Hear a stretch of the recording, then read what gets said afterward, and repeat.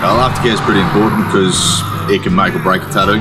We do a great job getting the ink into the skin, and if you don't look after it when it's healing, it's just going to turn it to shit. And I'll try different products. Like I, at the moment, do recommend Dr. Pickles because I have tried different products from time to time.